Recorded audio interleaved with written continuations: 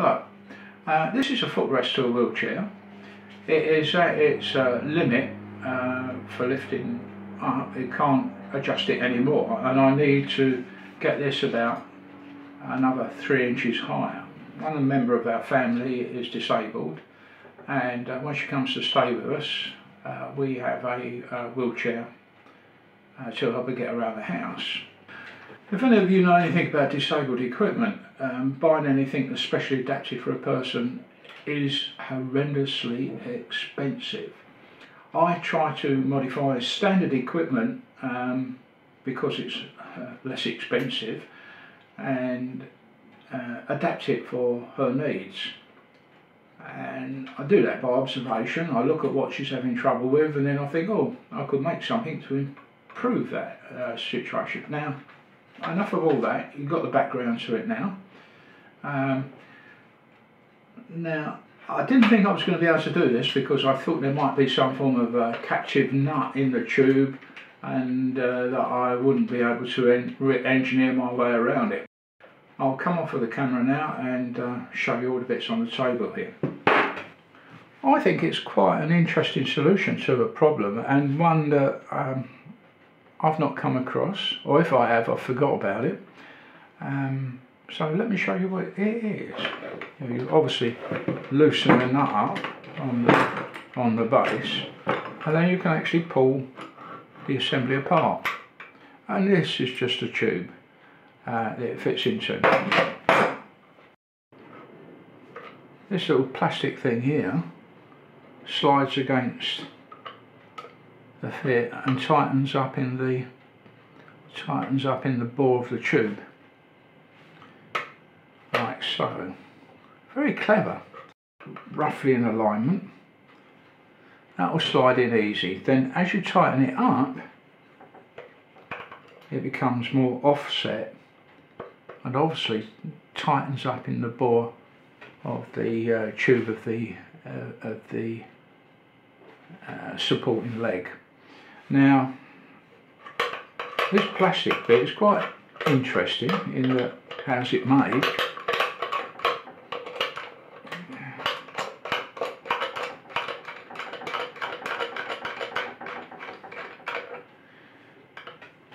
It's got a metal section in there which is simply a nut um, that's uh, moulded into obviously moulded into this this piece of plastic.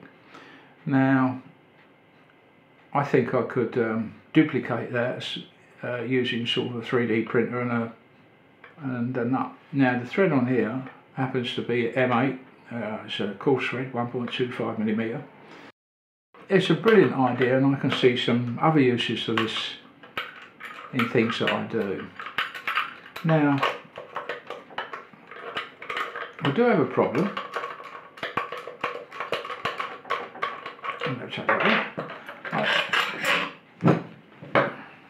It may seem a bit aggressive to you, but I'm going to remove three inches off of this tube, um, keeping that angle.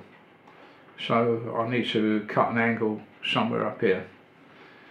Um, now, the bolt itself is uh, quite long and I went to purchase some other bolts, uh, a shorter bolts.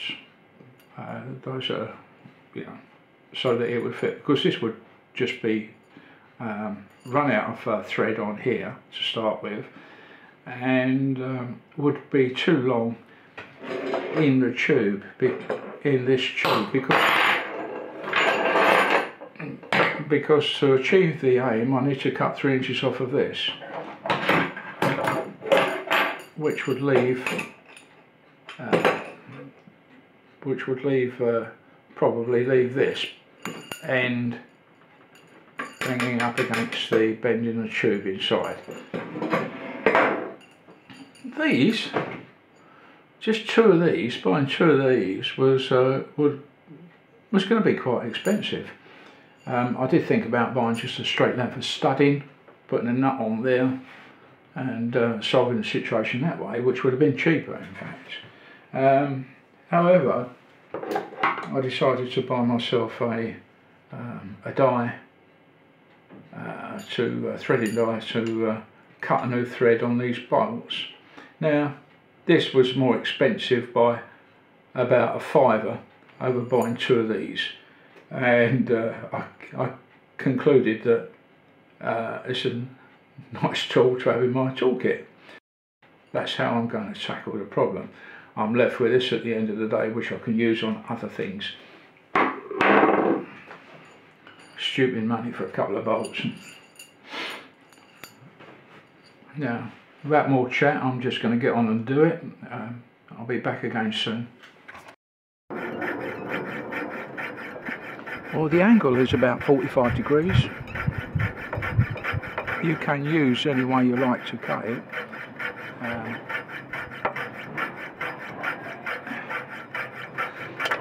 oops, and the blade broke, which is not unusual for using a uh, piercing saw.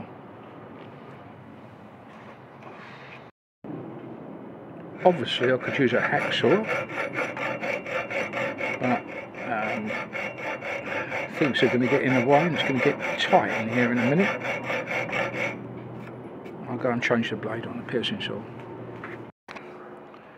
It really is annoying that you can't find just blades and I've got dozens of them. I've got to find a comfortable position to saw with this horrible thing.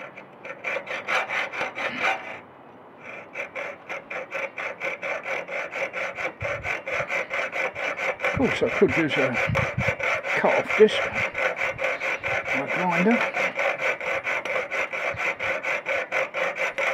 But the tool I have most pre precision with is the piercing saw.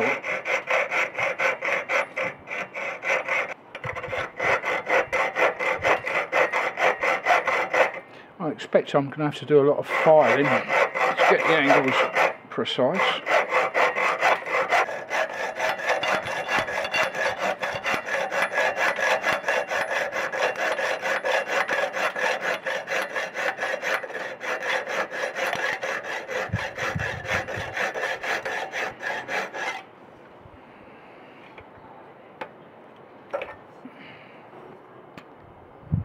Well, I think other than with a lick of the file to uh, clear the burrs up, that's not bad. Could have been a lot worse. Right.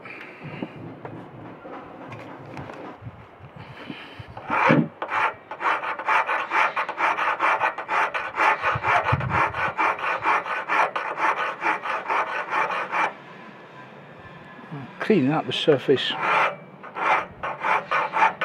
with a smooth file so that things slide a lot better.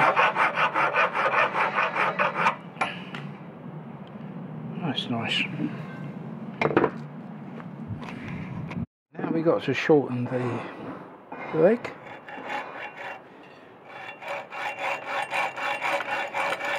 And if I get this as accurate as the other one, I'll be well pleased. I don't think I will.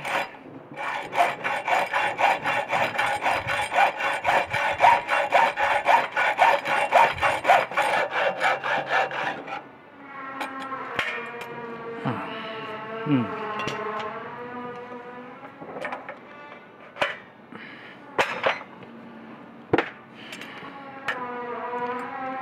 Nah, won't he? I don't. We'll check it with a check it with a square or something and see what's what. Right. I'm going to cut this uh, rod somewhere around about between those two marks. Um, but first of all, I'm going to run a die down and cut a new thread beyond them two marks so that I've got somewhere to uh, start the die off again when I need and work out how much thread I need on this last section.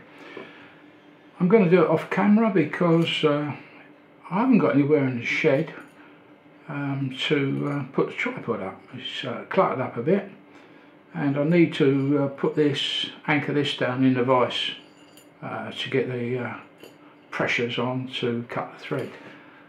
Um, so I'll have to do it off camera. We've come to a grinding halt because this stem is narrower than the diameter of the thread. So where it stops, it necks down and you can see that the thread that I'm cutting um, has no crest on it. And does rather represent a problem and um, I'm going to have to think of a solution. I've always incorrectly assumed that with part threaded bolts that I'd have the option of extending the thread if needed be. Um, I've never had to because I've always bought the right size bolt for the job I'm doing. Um, in this instance I thought I could save a few coppers and um, proved uh, a costly mistake. See, and this is the reason why you can't do that. The reason behind it is that when these uh, part threaded bolts are made, um, they roll the threads in under pressure. And that means this material here, the shaft, um, ends up with uh, grooves pressed into it which form the trough or the valley of the thread. And the material that is displaced goes to form the crest of the uh, thread. And such that the crest will be wider than this shaft. Um, you don't have any waste material like you would have if you was cutting the thread like with a swarf, metal swarf or anything like that. Now I should have known this, I did know it. Um, it was a silly mistake on my part for making some false assumptions and I cannot stress to you before you get into doing these things take more measurements.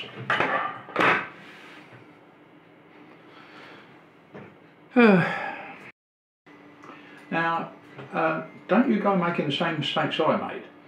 Um, buy the correct bolt in the first place, it'll save you a lot of aggravation and um, time is money. Uh, that's all I've got to say on the subject. Um, I think we'll end the video here. Um, I won't be able to give you an update on the wheelchair until such times as uh, the lady arrives again uh, for a short stay with us and we can try out and see whether all the modifications have worked then. Um, if you got this far, I hope you found something useful.